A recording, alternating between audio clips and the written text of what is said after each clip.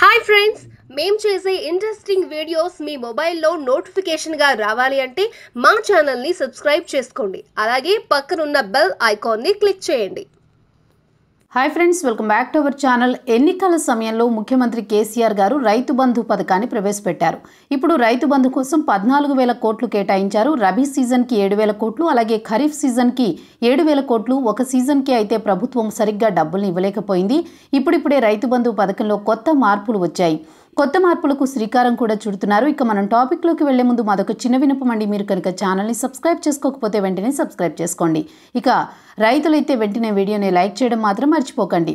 టాపిక్లోకి వెళ్ళిపోదాం. ఫ్రెండ్స్ ఎన్నికలలో ఇచ్చిన హామీ పరంగా భూమి విస్తీర్ణం ప్రకారం రైతుల అకౌంట్లోకి ఒకేసారి అమౌంట్ అనేది క్రెడిట్ చేస్తున్నారు. అంతేకాకుండా మరో కొన్ని కొత్త రూల్స్ కూడా తీసుకొస్తున్నారు. ముందుగా చిన్న రైతులకి ఆ తర్వాత మిగిలిన వారందరికీ ఏడాది పొడవునా డబ్బు అనేది వస్తుంది. ఈ విధంగా రైతు బంధు సహాయాన్ని ప్రభుత్వం అందరూ రైతులకి అందించాలి అనుకుంటోంది. అంటే విడతల వారీగా అయితే ఇవ్వనున్నారు. ముందుగా మూడు ఎకరాల లోపు ఉన్న వారికి ఫస్ట్ ప్రిఫరెన్స్ ఇచ్చి దాని తర్వాత ఐదు ఎకరాల లోపు ఆ తర్వాత పది ఎకరాల లోపు ఉన్న వారికి అంతకన్నా ఎక్కువ ఉన్న వారికి సహాయం చేయనున్నారు. ఈ విధంగా విడతల వారీగా ప్రభుత్వం ఆర్థికంగా రైతులకి సహాయం చేయనుంది.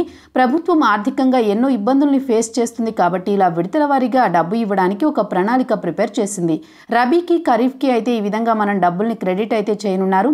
ఇప్పటికే డబ్బు కూడా రిలీజ్ చేశారు. పద్నాలుగు వేల కోట్లు కేటాయించారు. జిఎస్ జీఎస్టీ పరిహారం కింద వెయ్యి కోట్లు అయితే రైతుల కోసం మళ్ళించారు.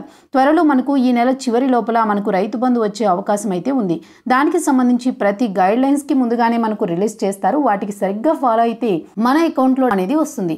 సో ఫ్రెండ్స్ వీడియో నచ్చినట్లయితే లైక్ చేయండి. మరెన్నో వీడియోస్ కోసం మా ఛానల్ని సబ్స్క్రైబ్ చేయండి.